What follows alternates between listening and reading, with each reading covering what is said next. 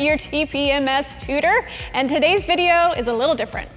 As you or your shop start to do more and more TPMS diagnostics and replacements, here are two best practices you're gonna wanna follow to protect your shop and generate more revenue. Lesson number one, test before you touch. Before you do any sort of work on the vehicle, look at the dashboard for any TPMS lights or display notifications that indicate low pressure or system malfunctions. Use your scan tool to individually test each sensor. Once you've identified the issue, communicate the problem to the customer before you begin any work. This protects you and your shop from being blamed for any damage to the sensor.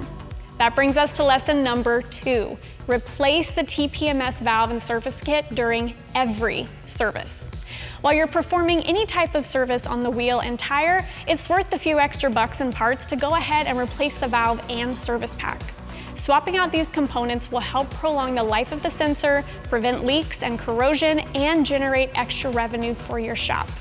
There you have it. We hope you enjoyed this video on TPMS best practices. Subscribe to our YouTube channel so you never miss our tech tire repair videos. See you next time.